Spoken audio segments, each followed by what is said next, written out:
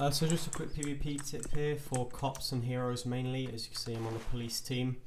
Uh, to get in and out of the criminal base, use the shotgun jump to defense.